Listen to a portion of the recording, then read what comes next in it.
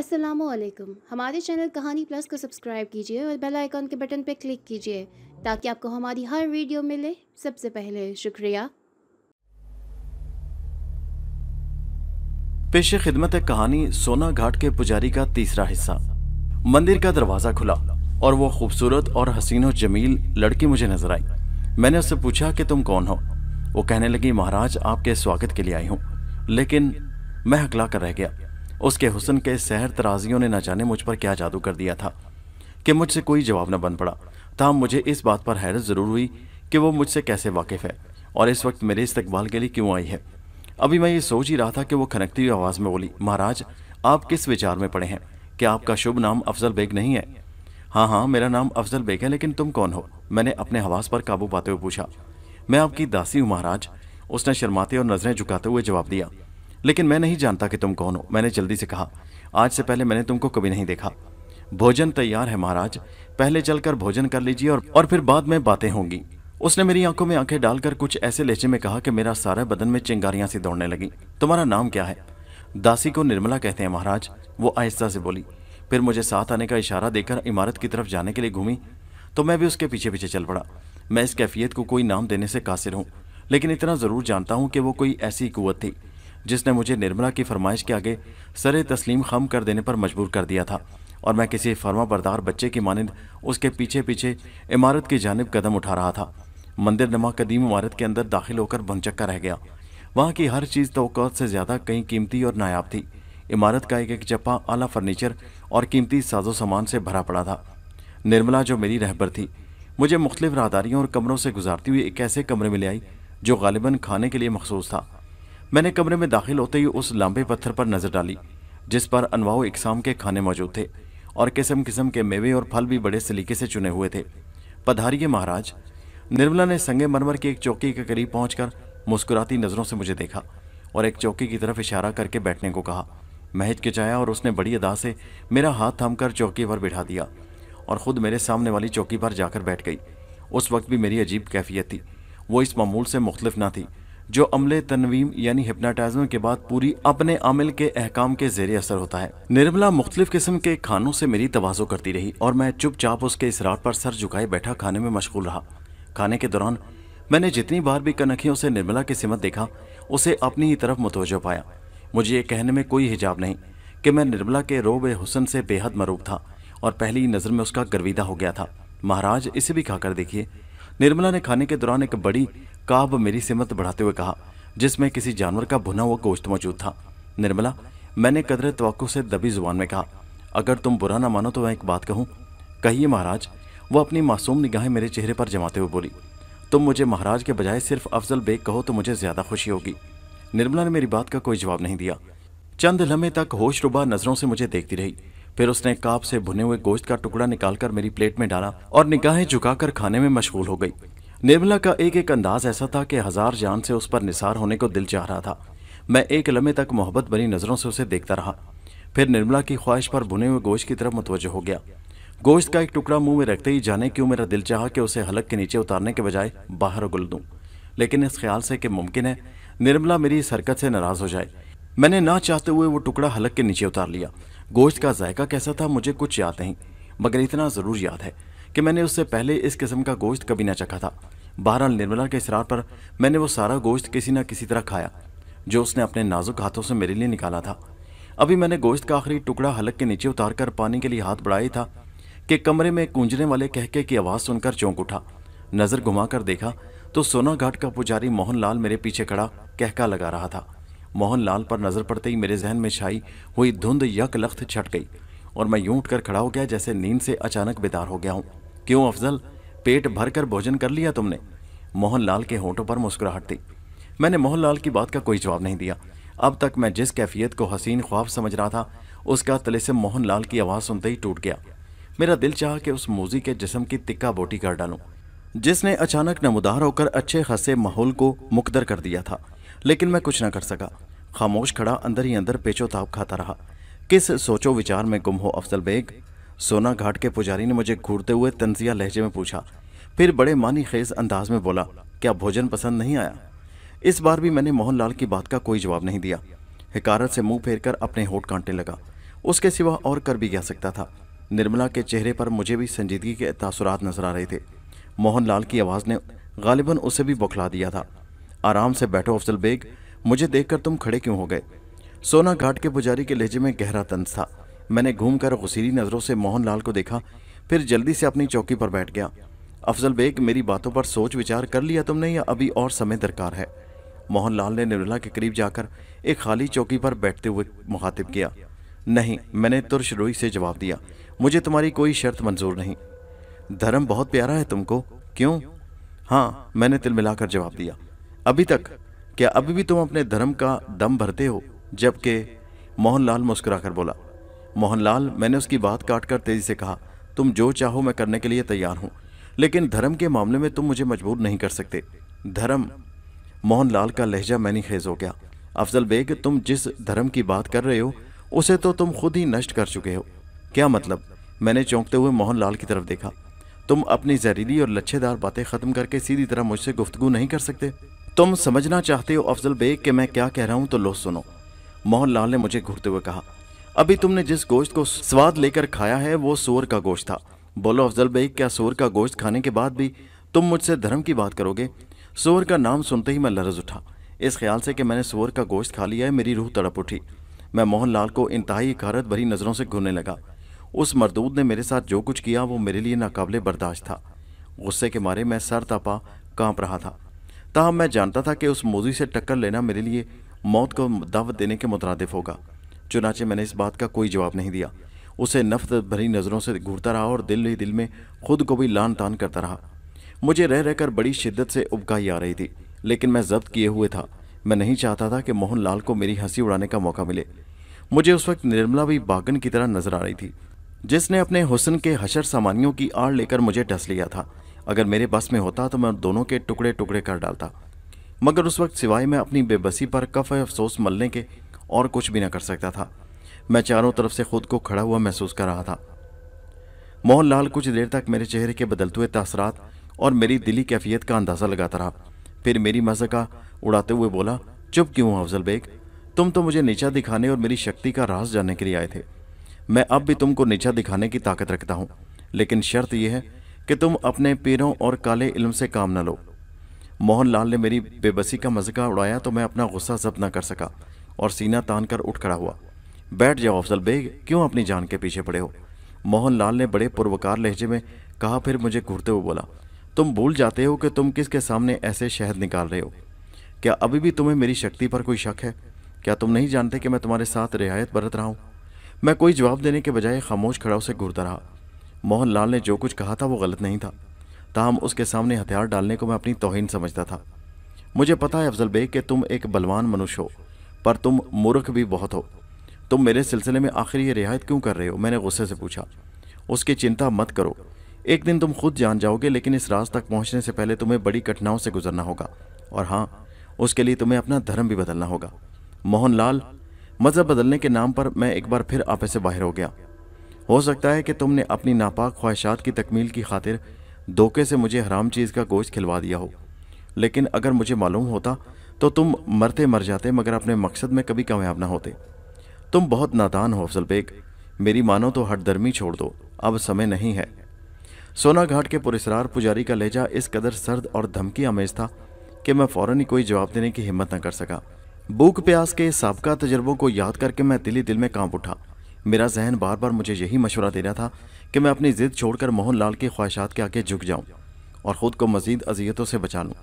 लेकिन मेरा ज़मीर हर बार आड़े आ जाता था। अभी मैं इन्हीं ख्याल में उलझा हुआ था कि मोहन लाल ने मुझे मुखातिब किया। अफजल बेग मैं जानता हूँ। तुम किस सोच विचार में उलझे हुए हो? तुम धर्म की खातिर जीवन दास करना चाहते हो तो ये तुम्हारी भूल है। मेरे बैर हर समय परछाई की तरह तुम्हारे साथ लगे रहते हैं। मेरी आज्ञा के बगैर तुम मरना भी चाहो तो मर नहीं सकते। देवी देवताओं के फैसले अटल होते हैं, अफजल बेग। मोहनलाल ने मुझे लाल पीली नज़रों से घूरते हुए सपाट आवाज़ में कहा मोहनलाल, मैंने हालात के पेशे नज़र तिल मिलाकर कहा, क्या तुम्हारे अंदर इतनी शक्ति नहीं कि तुम मुझे तड़पा तड़पा कर मारने के बजाय एक ही बार में ख़त्म कर दो? मैं तुम्हारी ये इच्छा उसी दिन पूरी कर सकता था, अफजल बेग, जब तुम्हारे मन में मेरी शक्ति जाने का ध्यान जागा था। परंतु गणेश देवता और पार्वती देवी की मर्ज़ी कुछ और है। मोहनलाल ने न जाने क्यों अपना होंठ चबाते हुए गजबनाक लहजे में कहा, अगर मैं चाहूँ तो तुम इस समय भी मेरे चरणों में पड़े दया की भक्षा मांगते नज़र आओ। और मेरी भक्ति स्वीकार कर लो। मेरी समझ में नहीं आ रहा था कि मोहनलाल की बात का क्या जवाब दूँ। मेरा जहन मअतल हो चुका था। मैं बुरी तरह थक चुका था। इनकार की सूरत में क्या कुछ होगा मुझे मालूम था। मैंने बड़ी बेबसी के आलम में एक नज़र मोहनलाल के गजबनाक चेहरे पर डाली। उसकी बड़ी बड़ी खौफनाक आँखों में मुझे शोले भड़कते महसूस हो रहे थे। मैंने जल्दी से अपनी नज़रें उसके चेहरे से हटा ली और निर्मला को देखने लगा, जो सख्ते की हालत में बैठी एक टिक मुझे देखे जा रही थी। ज़िंदगी की तलखियों ने मुझे मरदम शनासी का थोड़ा बहुत फन भी सिखा दिया था। निर्मला की आँखों में मुझे मकरो फिरेब के बजाय प्यार और हमदर्दी का जज्बा झलकता नज़र आया। तो मैं ये सोचने पर मजबूर हो गया कि अपनी मर्ज़ी का कोई दखल नहीं था उसकी, बल्कि वह सोना घाट के पुजारी के इशारों पर चलने के लिए मजबूर थी। अगर ये बात ना होती तो उसकी निगाहों में मोहब्बत और हमदर्दी का जज्बा कभी ना होता। इससे पहले कि मैं निर्मला के चेहरे से नज़रें हटाकर मोहनलाल की बात का जवाब देता निर्मला ने मुझे बड़े इल्तजा अमेज अंदाज में इशारे से तलकीन की कि मैं मोहनलाल की बात मान लूँ। हर चंद के उस वक्त मैं जिन हालात से दो चार था, उनमें मोहब्बत का तस्वर भी माहौल था। लेकिन उसके बावजूद मैं महसूस कर रहा था कि मेरा दिल निर्मला की तरफ़ खिंचे चला जा रहा है और इसी जज्बे के साथ ही ज़िंदा रहने की तमन्ना भी मेरे दिल में करवटें ले रही थी। मैं कोशिश के बावजूद निर्मला के चेहरे से अपनी नज़र न हटा सका। कहाँ खो गए हौसल बेग? मोहनलाल ने मुझे दोबारा मुखातिब किया तो मैं इस तरह चौंका जैसे कच्ची नींद से बेदार हो गया हूँ। निर्मला के चेहरे से नज़र हटाकर मैंने मोहनलाल को देखा, जिसके होंठों पर मैंने खेज मुस्कुराहट फैली हुई थी। मैं अभी कोई जवाब देने के लिए सोच ही रहा था कि मोहनलाल ने कहा, अफजल बेग, अगर तुम मेरी भक्ति कबूल कर लो तो मैं, निर्मला पुजारी तुम्हें दान दी जा सकती है। मैं तैयार हूँ। मैंने बेख्तियार जल्दी से कहा और निर्मला की तरफ़ देखने लगा, जो मेरा फैसला सुन लेने के बाद बड़ी दिलकश और मासूमाना अंदाज में नज़रें झुकाए मुस्कुरा रही थी। मुझे पूरा विश्वास था, अफजल बेग, कि तुम मेरा कहा मान जाओगे।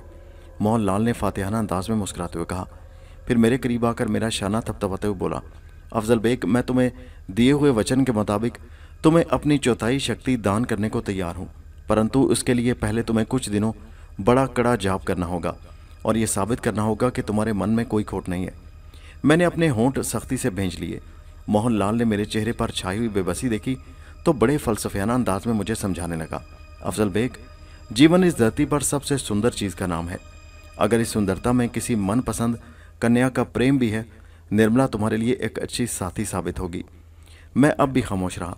मेरा ज़मीर मुझे रह रहकर मलामत कर रहा था, लेकिन अब मैंने अपने ज़मीर का गला बड़ा सख्ती से दबा रखा था। निर्मला को पाकर ज़िंदा रहने की ख्वाहिश हर लम्हे बढ़ती जा रही थी। मुझे ज़िंदगी बड़ी हसीन नज़र आ रही थी। निर्मला की गराई और शोक मुस्कुराहटों ने ना जाने मुझ पर क्या जादू कर दिया था कि मैं मोम की तरह पिघल कर रह गया था। मैंने फैसला कर लिया था कि ज़िंदगी जैसी कीमती और अनमोल शय को अब किसी कीमत पर अजियतों के हवाले न करूँगा। इसके बरक्स ज़िंदा रहकर ज़िंदगी के मज़े लूटूँगा। लेकिन मैंने अपने चेहरे के तासरात से हतल उमकान यही कोशिश की कि मोहन लाल मेरे दिल का भेद ना जान सके और यही समझे कि मैंने उसके आगे मजबूरन घुटने टेक दिए हैं। निर्मला बदस्तूर मेरे सामने मौजूद थी और बार बार कनखियों से मेरी तरफ़ देखे जा रही थी। मोहन लाल ने मुझे खामोश देखा तो उसे कुछ देर के लिए कमरे से चले जाने को कहा।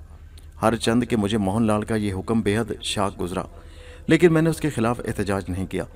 निर्मला के कमरे से चले जाने के बाद सोना घाट का पुजारी पुरसरार चंद लम्हे तक खामोश खड़ा टिकटिकी बांधे मुझे घूरता रहा। फिर मुझे साथ लिए एक मुल्हे का कमरे में आ गया, जो गालिबन किसी की ख्वाबगाह थी और दूसरे कमरे की तरह कीमती साजो सामान से सजी हुई थी। मैं मोहनलाल के इशारे पर उसके सामने बैठ गया तो उसने मुस्कुराते हुए कहा, अफजल बेग, देवी देवताओं की महान शक्ति के सामने दिल के भेद कभी छुपे नहीं रह सकते। मुझे मालूम है कि तुम क्या सोच रहे हो। मैं खुश हूँ कि तुमने जीवन दान देने के फैसले को बदलकर खुद को नए जीवन में ढालने का फैसला किया है। अब तुम नई शक्ति का मज़ा लुटोगे। मैंने चौंक कर मोहनलाल को देखा। मुझे हैरत है कि आखिर उसने मेरे दिल का भेद कैसे पा लिया, जबकि मैंने अपने चेहरे पर गहरी संजीदगी तारी कर रखी थी। ताम, मुझे उस बात पर ज़्यादा अचंबा नहीं हुआ, इसलिए कि मैं सोना घाट के पुजारी के करिश्मे अपनी आँखों से देख चुका था। कुछ देर तक मैं उसे सपाट नज़रों से घूरता रहा। फिर मैंने दबी आवाज़ में कहा, मोहनलाल, मैं तुम्हारी इस बात से इनकार नहीं करूँगा कि ज़िंदा रहने की ख्वाहिश ने मुझे अपना फैसला बदलने पर मजबूर कर दिया है। एक बात याद रखना, अगर तुम अपने वादे से फिरे या मेरे साथ कोई धोखा करने की कोशिश की तो फिर मुझसे बुरा भी कोई ना होगा। धोखा? मोहनलाल बड़े पुरवकार अंदाज में हंसा। फिर ठोस लहजे में बोला, अफजल बेग, क्या तुम ये समझते हो कि मुझे तुम्हारे साथ धोखा करने की ज़रूरत पड़ेगी? क्या तुम मेरी शक्ति से कुछ और तमाशा देखना चाहते हो? क्या तुम्हें यह विश्वास नहीं कि एक लम्हे में तुम्हें मनुष्य से चौपाया बनाया जा सकता है? मुझे अब क्या करना होगा? मैंने जल्दी से गुफ्तगु का रुख बदलने की खातिर कहा। मोहनलाल की कुतों का तमाशा मैं बहुत पहले देख चुका था, इसलिए अब उसके साथ मजीद उलझना बैद अस दानिशमंदी था। सबसे पहले तुम्हें एक ऐसा चेला बनकर दिखाना होगा, जो गुरु की आज्ञा का पालन करना अपना धर्म समझता है। उसके बगैर तुम्हारी तपस्या बेकार होगी। क्या तुम अपनी शक्ति के ज़रिए मेरे दिल का हाल नहीं जान सकते? मैंने उसे बड़ी नरमी से मुखातिब किया। मैं जानता हूँ कि तुम मेरी आज्ञा का पालन करोगे, परंतु मुझे ये भी पता है कि तुमने निर्मला की खातिर मेरा सेवक बनने का फैसला किया है। हाँ ये गलत नहीं है। मैंने साफ़ कोई से जवाब दिया। अफजल बेग मोहन लाल ने अपने गलीज होंठों पर बड़ी मकरू मुस्कुराहट बखेरते हुए कहा, अपने वचन के मुताबिक चाहो उसे इस्तेमाल कर सकते हो। पूरी तरह निर्मला को इसी समय हासिल कर सकते हो, जब तुम चाहो। और ज्ञान ध्यान की कड़ी परीक्षा में सफल हो जाओ। निर्मला अब तुम्हारे साथ है। मैंने वचन दिया है। परीक्षा के बाद निर्मला पूरी तरह तुम्हारी हो जाएगी। और फिर निर्मला क्या? तुम पाप और पुण्य के चक्कर को खूब समझने लगोगे। तुम जान जाओगे कि मनुष्यों ने अपने लिए खुद ही कैसा जाल बुन रखा है। धरती अफजल बेग एक धोखा है और मनुष्य एक मूर्ख जानवर है। हाँ ज्ञान ध्यान से मनुष्य पैदा होता है, जो सब कुछ जानता है। जिसने ये शक्ति हासिल कर ली उसने अपने जीवन दास में खुशियाँ भर ली। सब लोग इस संसार में अंधे बनकर रहते हैं।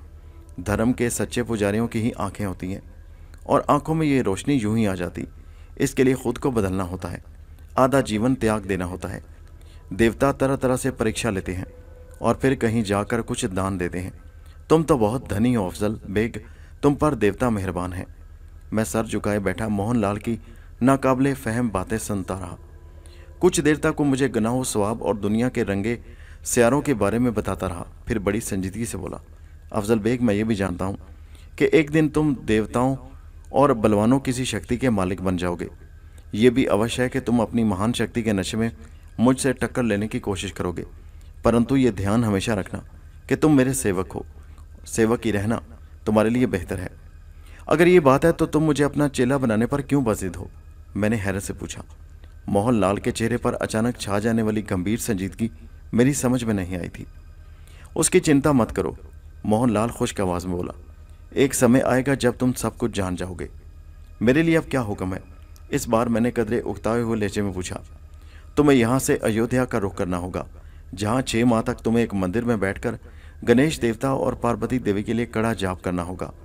मोहन लाल ने एक तवील सांस लेकर कहा, अयोध्या पहुंचकर तुम्हें महान सेवक अर्जुन सिंह से मिलना होगा। फिर जैसा वो कहेगा, वैसा ही करना। लेकिन मैं अयोध्या जाकर अर्जुन को कहाँ तलाश करता फिरूँगा? मैंने चौकी पर पहलू बदलते हुए पूछा।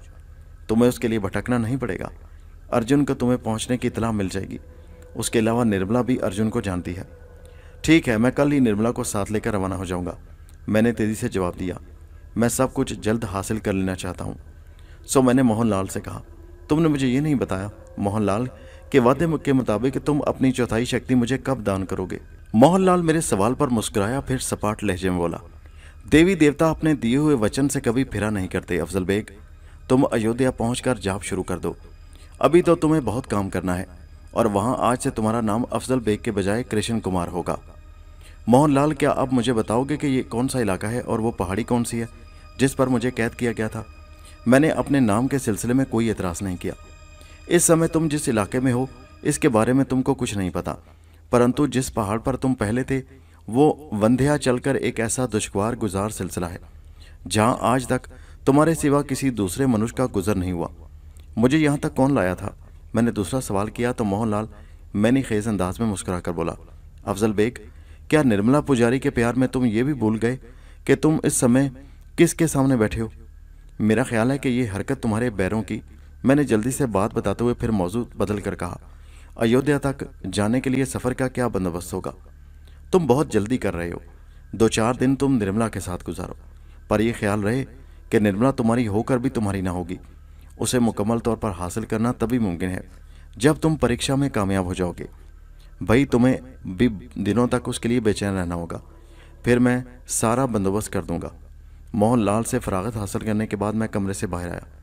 तो निर्मला सामने वरांडे में खड़ी मेरी राह तक रही थी। उसने जिन नज़रों से मुझे देखा, उनमें न जाने क्या कशिश थी कि मैं सब कुछ भूल कर उसकी तरफ़ खिंचा चला गया। वो मुझे एक दूसरे कमरे में ले गई। वो कमरा साजो सामान के अतबार से उन तमाम कमरों से बेहतर था, जिन्हें मैं अब तक देख चुका था। ये आप ही का कमरा है, महाराज, निर्मला ने दबी ज़ुबान में कहा। अब आप आराम कीजिए और अगर किसी चीज़ की ज़रूरत हो तो दासी को आवाज़ दे लीजिएगा। निर्मला, मैंने उसे प्यार से देखकर शिकायत भरे लहजे में कहा एक बात कहूँ मानोगी। आप आज्ञा करें महाराज, दासी की क्या मजाल है कि इनकार कर दे। तुम मुझे महाराज के बजाय मेरे नाम से मुखातिब किया करो। ये घोर पाप होगा महाराज, निर्मला ने जल्दी से कहा। अगर मोहनलाल जी महाराज को भनक पड़ गई तो मेरा सारा जीवन कष्ट उठाते गुजरेगा। मैं आपकी दासी जो हूँ। मोहनलाल तुम्हें मुझे बख्श चुका है, और अब उसे तुम्हारे ऊपर कोई हक नहीं रहा। मैंने प्यार से समझाया। मुझे पता है महाराज, परंतु, निर्मला, मैंने जल्दी से उसकी बात काटते हुए कहा क्या तुम्हें यह जानकर खुशी नहीं होगी कि मैंने महज तुम्हारी खातिर अपना धर्म भी बदल दिया है? ये आपकी कृपा है, महाराज, निर्मला शर्मा कर बोली।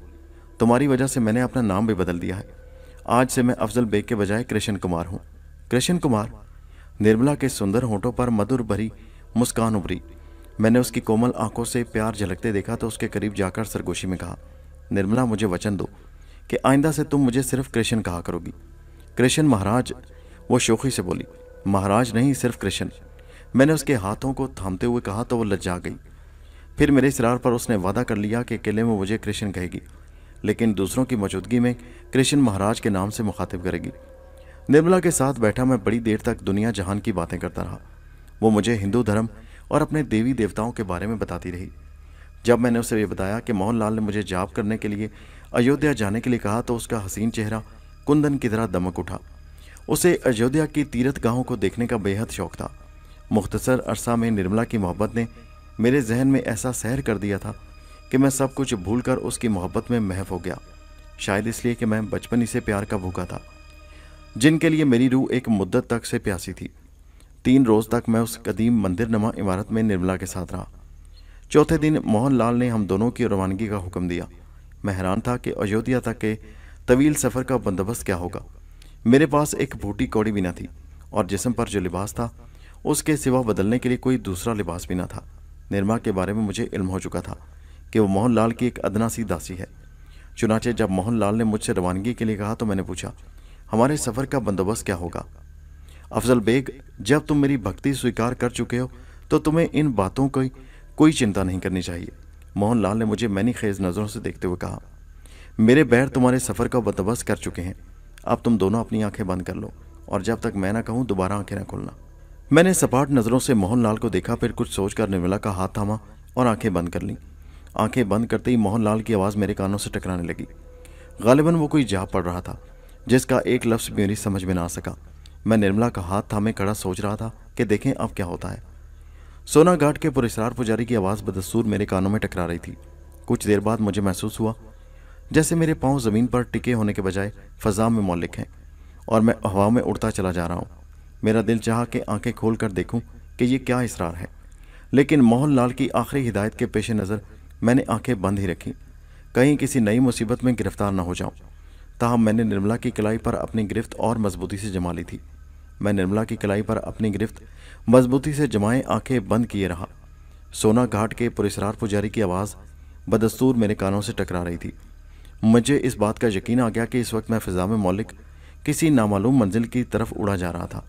मोहन लाल ने मुझे बड़ी सख्ती से ताकीद कर रखी थी कि जब तक वो ना कहे, मैं आँखें बंद रखूँ। चुनाचे मैंने आँखें नहीं खोली, लेकिन अपने पाँव को जंबिश देकर इस बात का अंदाज़ा लगाने में कामयाब हो गया कि ज़मीन पर खड़ा होने के बजाय फ़जाओं में मौलिक हूँ। कृष्ण, अब अपनी आँखें खोल दो। मैंने निर्मला की आवाज़ सुनी तो आँखें खोल दी। उसकी खूबसूरत, गजाली आँखों में मुझे मुसरतों के हज़ारों दीप जलते नज़र आए। उसके नाजुक गुलाबी होंठ बड़े दिलनशी अंदाज में मुस्करा रहे थे। मैंने सोचा शायद वो मुझे पा लेने की वजह से बागो बहार बनी हुई है, या फिर ये भी मुमकिन है कि वो मोहन लाल की दस्तरत से दूरी इख्तियार करने की वजह से खुश है। निर्मला के चेहरे से नज़रें हटाकर मैंने कुर्बो जवार का जायज़ा लिया तो बुनचक्का सा रह गया। अपने वालिद के साथ एक बार पहले भी मैं अयोध्या का सफ़र कर चुका था, इसलिए मुझे मंदिरों और मूर्तियों की इस बस्ती को पहचानने में कोई दुश्वारी पेश नहीं आई। हाँ एक लम्हे के लिए ताजुब हुआ कि इतनी जल्दी वंध्याचल की पहाड़ियों से अयोध्या तक कैसे पहुँच गया। लेकिन इस ख्याल ने मुझे ज़्यादा परेशान नहीं किया। सोना घाट के पुजारी पुरस्कार की कोतों को मैं अच्छी तरह समझ चुका था। नामुमकिन को मुमकिन बना देना उसके बाएँ हाथ का खेल था। कृष्ण निर्मला मुझे खामोश पाकर मुस्कुराते हुए कहा, हम इस समय रामचंद्र जी की पवित्र जन्मभूमि अयोध्या में खड़े हैं। मुझे मालूम है, मैं जल्दी से बोला, सुना है यहाँ हर साल मेला लगता है जिसमें छः लाख से ज़्यादा यात्री शरीक होते हैं। हाँ तुमने ठीक सुना है, लेकिन सबसे पहले हमें अर्जुन को तलाश करना चाहिए। अर्जुन नहीं, अर्जुन महाराज। निर्मला ने अपने होठों पर मुस्कुराहट बकेरते हुए मुझे समझाया। जब तक तुम मोहनलाल जी, महाराज की आज्ञा का पालन न कर लो और अपने जाप और ज्ञान, ध्यान और कठिन परीक्षा में सफल न हो जाओ, उस समय तक तुम्हें अयोध्या के महान पुजारी को अर्जुन महाराज के शुभ नाम से पुकारना होगा। निर्मला, मैंने पुजारी की मखमूर नज़रों में झांकते हुए कहा तुम्हें हासिल कर लेने के बाद मैं खुद को दुनिया का सबसे ज़्यादा खुश नसीब इंसान समझने लगा हूँ। लेकिन नहीं कृष्ण, नहीं। निर्मला ने जल्दी से अपना हाथ मेरे मुँह पर रख दिया, फिर बड़े बोलबन और लगावट से बोली, मैं जानती हूँ कि तुम क्या कहना चाहते हो, पर अभी ऐसे शब्द ज़ुबान से न निकालो। मनुष्य जात को तो उस धरती पर अपना जीवन बिताने के कारण हज़ारों कठिनाइयों से गुजरना पड़ता है।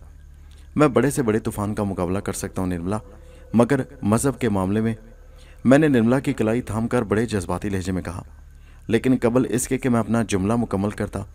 निर्मला ने मुझे जल्दी से टोक दिया और मासूमाना अंदाज में समझाने लगी, कृष्ण, तुम्हारे मन में जो कुछ है, उसे मैं अच्छी तरह समझती हूँ। परंतु तुमने मोहन लाल जी महाराज को दिए हुए वचन से मुँह मोड़ने की कोशिश की तो हम दोनों कभी सुखी ना रह सकेंगे। तुम मर्द हो, शायद कठिनाइयों को झेल जाओ, पर मैं औरत जात इस कष्ट को बर्दाश्त ना कर पाऊँगी। बोलो, क्या तुम इस दासी को बर्बाद हो जाने दोगे? ऐसा कभी नहीं हो सकता, निर्मला। मैंने शिद्दत जज्बात से मगलूब होकर कहा तुम्हें खुश देखने के लिए मैं बड़ी से बड़ी कुर्बानी देने को तैयार हूँ। सच? उसने शर्मिली निगाहों को उठाकर मुझे देखा तो मैं खुद ही के आलम में बोला, निर्मला, मेरी ज़िंदगी अगर तुम्हें कभी मेरी जान की ज़रूरत पेश आई तो वो भी तुम पर निछावर कर दूँगा। जब जी चाहे आजमा कर देख लो। अगर ये बात है तो वचन दो। जब तक तुम महान शक्ति के मालिक नहीं बन जाते और देवी देवताओं के जाप को पूरा नहीं कर लेते मेरी खातिर कोई ऐसा शब्द ज़ुबान से नहीं निकालोगे, जो हमारे लिए कष्ट उठाने का कारण हो निर्मला ने कुछ ऐसे होशरुबा अंदाज में ये जुमले अदा किए कि मैं इनकार न कर सका, और मैंने सच्चे दिल से वादा कर लिया कि जो कुछ वो कहेगी मैं उस पर अमल करूँगा। कुछ देर तक हम दोनों यूँ ही आलम सरमस्ती में एक दूसरे से अहदो पैमान करते रहे। फिर अर्जुन महाराज की तलाश में चल पड़े। अयोध्या शहर जो उत्तर प्रदेश में लखनऊ के मशरक में वाक़ है, और जिसकी आबादी तकरीबन साढ़े बयासी हज़ार अफराद पर मुश्तमिल है। उस वक्त बड़ा ही खूबसूरत लग रहा था। डूबते सूरज की किरणें बड़े बड़े मंदिरों के किलस का आखिरी बोसा ले रही थी। दरख्तों के साए फैलकर लंबे होने लगे थे। मैं दुनिया व माफिया से बेखबर निर्मला के हाथ में हाथ डाले उसकी मोहब्बत में सरशार चला जा रहा था कि निर्मला ने मुझे रोकते हुए कहा, कृष्ण, तुम्हें इस बात का ध्यान भी रखना होगा कि मैं देवताओं के चरणों की एक मामूली पुजारन हूँ। पहले रही होगी, लेकिन अब तुम सिर्फ़ मेरी हो। मैंने उसके सराफे पर नज़र डालते हुए जवाब दिया, मोहनलाल, तुम्हें मुझे दान कर चुका है। हाँ मगर पुजारी ने शर्त भी लगाई थी कि तुम्हें मेरे शरीर और मेरी आत्मा उसी समय पूरा अधिकार हासिल होगा, जब तुम जाप और ज्ञान ध्यान की कड़ी परीक्षा में सफल हो जाओगे। तुम्हें जीतने की खातिर मैं बड़ी से बड़ी आजमाइश में भी पूरा उतरूँगा। मैं ठोस लेचे में बोला, मैं जानती हूँ कि तुम ज़रूर सफल होगे, लेकिन लेकिन क्या? मैंने निर्मला को जुमला नामुकम्मल छोड़कर उदास होते देखा। तो बेचैनी से पूछा, कृष्ण, एक पुजारन होने के सबब मेरा फ़र्ज़ है कि देवताओं और उनके महान पुजारियों की हर आज्ञा का पालन करूँ। इसलिए मैं हाथ बांधकर तुमसे प्रार्थना करती हूँ कि अगर कभी तुम मुझे किसी पुजारी की सेवा करते देखो तो अपने मन में मेरी तरफ़ से कोई मैल न लाना। निर्मला ने मुझे अपनी मजबूरियों का एहसास दिलाने की कोशिश की तो मैं तड़प कर बोला, ऐसा नामुमकिन है निर्मला। अगर किसी ने तुम्हारी तरफ़ बुरी निगाहों से देखा तो मैं उसकी आँखें निकाल दूँगा। ऐसा कभी ना करना। निर्मला बड़ी वारफ्तगी के आलम में बोली, मैं तुमको वचन देती हूँ कि मेरे शरीर को कोई ना छू सकेगा। लेकिन महान पुजारियों की सेवा करना मेरा धर्म है। मैं उसके लिए उस समय तक मजबूर रहूँगी जब तक तुम अपना जाप पूरा नहीं कर लेते। उसके बाद तुम्हारी हो जाऊँगी, सिर्फ़ तुम्हारी। हर चंद के मेरा दिल इस बात को मानने के लिए तैयार नहीं था कि निर्मला मेरे होते हुए किसी और की खिदमत गुजारी करे। लेकिन जब उसने मुझे समझाने के लिए अपने अनमोल आंसुओं का सहारा लिया तो मुझे उसकी बात मान लेनी पड़ी। लेकिन एक बात मैंने उसे अच्छी तरह बावर करा दी थी कि अगर अर्जुन महाराज या किसी दूसरे पुजारी ने उसके सिलसिले में हदूद को फलांगने की कोशिश की तो फिर मैं किसी कीमत पर उसकी किसी बात को न मानूँगा। निर्मला ने मेरी इस बात को फ़ौरन मान लिया और मेरा हाथ थाम कर फ़ौरन आगे बढ़ने लगी।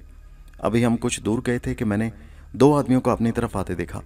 सूरत शक्ल से ये दोनों पुजारी ही लग रहे थे। उनके सर गुठे हुए थे। माथों पर बभूत मला हुआ था।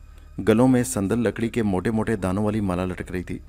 दोनों के जिसम पर एक एक धोती थी और पाँव में उन्होंने लकड़ी के खड़ाओं पहन रखे थे। मैं अभी उन दोनों को देख ही रहा था कि वो मेरे करीब आकर बड़े अदब से मेरे सामने झुक गए।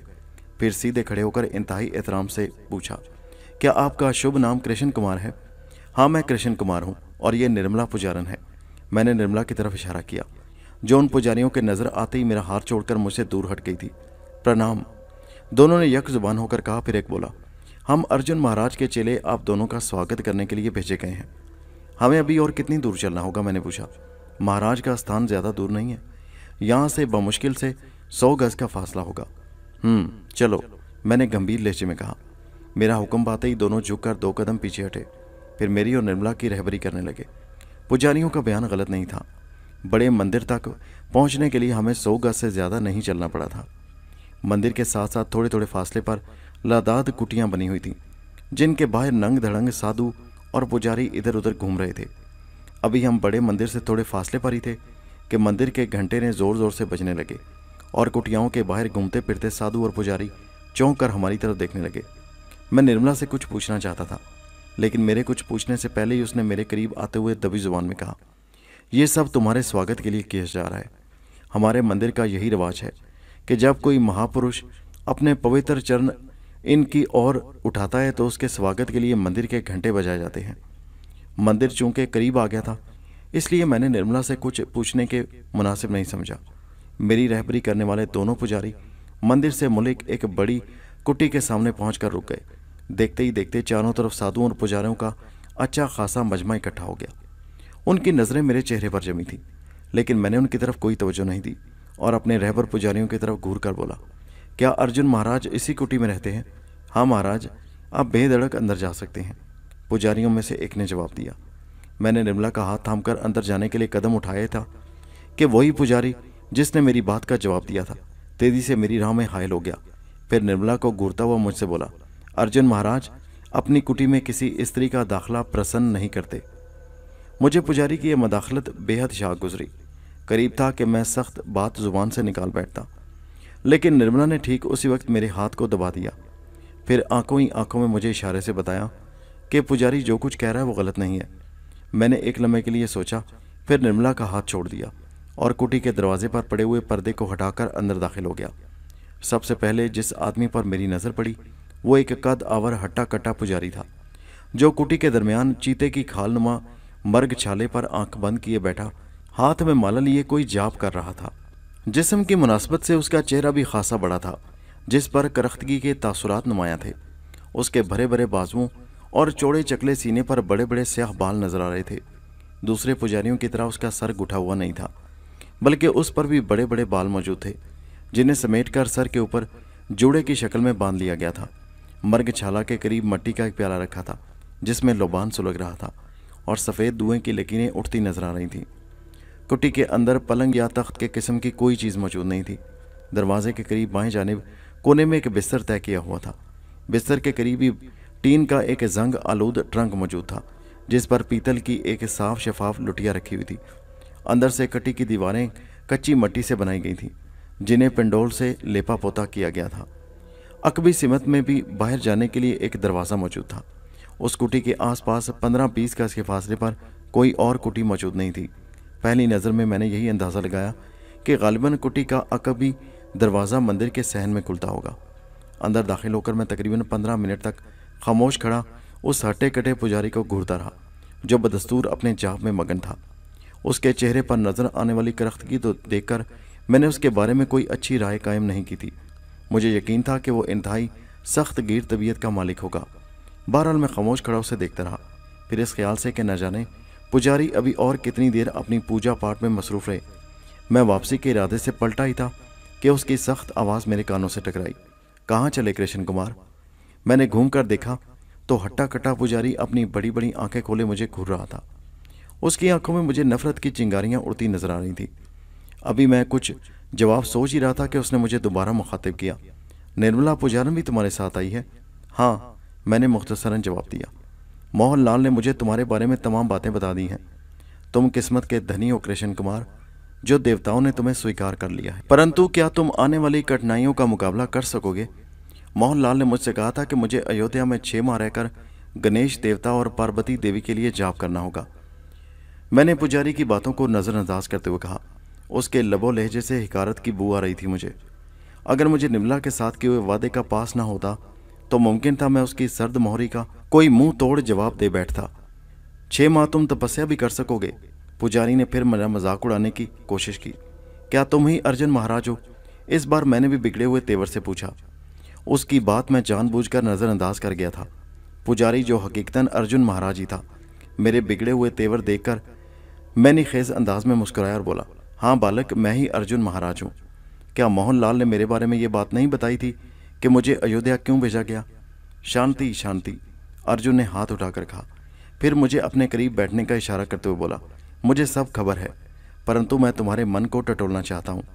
देवी देवताओं की भक्ति स्वीकार करने के लिए मन का उजला होना ज़रूरी है। तो क्या अभी मेरा इम्तिहान पूरा नहीं हुआ? मैंने अर्जुन के करीब आलती पालती मारकर बैठते हुए कहा, तुम जाव शुरू करने के लिए बहुत बेकल नज़र आते हो। क्यों? अर्जुन मैंने खेज अंदाज में मुस्कुराया हाँ वक्त बर्बाद करना मेरे असूल के खिलाफ है। मैंने उखड़े लहजे में जवाब दिया तो अर्जुन यक लख्त संजीदा हो गया। कुछ देर तक वो मुझे घूरता रहा, फिर बोला, अगर तुम्हारी यही इच्छा यानी ख्वाहिश है तो फिर सुनो, तुम्हें छः माह तक एक पुराने खंडर में तनहा बैठकर देवताओं के लिए जाप करना होगा। जब तक तुम अपना जाप पूरा नहीं कर लेते, तुम्हें व्रत रखना होगा। इस अरसे में तुम किसी मनुष्य से मिल भी नहीं सकोगे। क्या निर्मला भी मेरे साथ नहीं होगी? मैंने बेचैनी से पूछा, निर्मला? अर्जुन के होठों पर एक लम्हे बड़ी जहर आलूद मुस्कुराहट उभरी। लेकिन फिर फ़ौरन ही वो संजीदगी इख्तियार करते हुए बोला निर्मला तुम्हारे साथ नहीं रह सकती। जब तक तुम ज्ञान ध्यान में लगे होगे, किसी स्त्री का साया भी तुम्हारे शरीर पर नहीं पड़ना चाहिए। अगर ऐसा हुआ तो तुम अपनी परीक्षा में सफल नहीं हो पाओगे। ठीक है, मैं इसके लिए भी तैयार हूँ। मैंने कुछ सोचकर जवाब दिया। इस बात को भी ध्यान में रखना कि जाप करते समय बैर और गंदी आत्माएँ तुम्हें डराने की कोशिश करेंगी। अगर तुम उन बैरों से डर गए तो समझ लो कि तमाम जीवन कष्ट उठाना पड़ेगा। मैं बैरों और गंदी बलाओं से निमटना जानता हूँ। अर्जुन महाराज, इसलिए तुम इसकी चिंता मत करो। मैंने सपाट लहजे में जवाब दिया। मैं जानता हूँ कृष्ण कुमार कि तुम्हारी लगन सच्ची है, और यह भी मुमकिन है कि तुम छः माह से पहले ही अपना जाप पूरा कर लो। एक बात पर हमेशा ध्यान में रखना, स्त्री का प्यार मनुष्य को मुक्ति के रास्ते से हटा देता है। इसलिए तुम कभी किसी कन्या के चक्कर में मत पड़ना। यह सोचना मेरा जाती मामला है, अर्जुन महाराज। मैंने रूखे लहजे में कहा तुम मुझे सिर्फ़ जाप करने का तरीका समझा दो और वो जगह बता दो जहाँ बैठकर मुझे जाप करना होगा। इतनी जल्दी क्यों करते हो कृष्ण कुमार? एक दो रोज आराम कर लो, फिर मैं तुम्हें सब कुछ बता दूँगा। मैं यहाँ आराम करने नहीं आया हूँ। मैंने इस बार संजीदगी से कहा, तुम्हारी मर्ज़ी। अर्जुन महाराज ने बुरा सा मुँह बनाकर जवाब दिया, तुम जाकर स्नान और भोजन कर लो। फिर मैं तुम्हें आज इस खंडर तक पहुँचा दूँगा, जहाँ बैठकर तुम्हें जाप करना है। मैं उठकर बाहर आया, जहाँ निर्मला मेरी मुंतजिर थी। अर्जुन महाराज के चेलों ने मुझे खाली कुटिया में पहुँचा दिया। जहाँ कुछ देर आराम करने के बाद मैंने करीबी घाट पर जाकर स्नान किया। उसके बाद पेट भरकर खाना खाया और निर्मला को इन बातों की तफसील बताने लगा, जो मेरे और अर्जुन महाराज के दरमियान हुई थी। अर्जुन महाराज का कहना गलत नहीं है। निर्मला ने मेरी बात सुनकर कहा, तुम अगर अपना मन जाप की और त्याग दो तो छः माह से बहुत कम समय में अपनी परीक्षा में सफल हो जाओगे। मेरी अपनी कोशिश भी यही होगी कि जल्द अज जल्द अपना गोहरे मकसूद हासिल कर लूँ। लेकिन मुझे तुम्हारी फ़िक्र है। मेरी फ़िक्र क्यों है?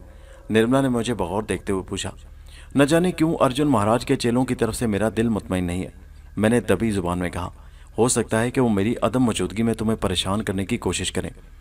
चेला और भगत इतनी हिम्मत नहीं कर सकते, निर्मला जल्दी से बोली, तुम्हें भी मेरे ऊपर विश्वास होना चाहिए। वो तो है, लेकिन न जाने क्यों मुझे ऐसा महसूस होता है कि जैसे तुम्हारे सिलसिले में मेरे साथ कोई धोखा होने वाला है। मैंने बड़ी साफगोई से उस पर अपने ख्याल का इजहार कर दिया। निर्मला मेरी बात पर बड़ी बेपरवाही से मुस्कराई। फिर मुझे अपनी वफादारी का यकीन दिलाने लगी। देर तक मैं निर्मला के साथ कुटी के अंदर बैठा बातें करता रहा। एक दो बार मेरे दिल में आई कि जाप शुरू करने से पहले निर्मला को अपनी बाहों में समेट लूँ, लेकिन निर्मला ने मुझे इसका मौका नहीं दिया। न जाने उसे क्यों कर मेरी ख्वाहिशात का इल्म हो गया था। चुनाचे वो मुस्कुरा कर बोली, कृष्ण कुमार, मैं जानती हूँ कि इस समय तुम्हारे मन में क्या आशा कल बुला रही है, लेकिन अभी ये सब कुछ नामुमकिन है। जब तक तुम जाप पूरा ना कर लो, मेरे शरीर को हाथ लगाने का ध्यान भी मन में न लाना। निर्मला, मैंने उसका नरमो नाजुक हाथ थाम कर बेखुदी के आलम में कहा, मुझे वचन दो, जब तक मैं अपनी आजमाइश में कामयाब न हो जाऊँ, तुम मेरी राह तकती रहोगी और किसी को अपने करीब न आने दोगी। क्या तुम्हें मेरे ऊपर विश्वास नहीं है? विश्वास तो है, लेकिन न जाने क्यों मेरा दिल नहीं मानता। धीरज से काम लो, कृष्ण। निर्मला ने जेरे लब मुस्कुराकर जवाब दिया। समय बीतने में देर नहीं लगती। जब तुम कामयाबी हासिल कर लो तो हज़ारों सुंदर नारियाँ अपने तन मन धन से तुम्हारे ऊपर कुर्बान होने को तैयार मिलेंगी।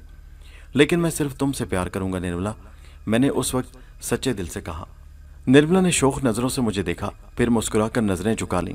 कुटी में जलते हुए चिराग की रोशनी निर्मला के पैकर को समय बना रही थी। मैं अभी निर्मला के सरापा को दिल भर के देखने भी ना पाया था कि बाहर से जय जयकार के नारे बुलंद होने लगे।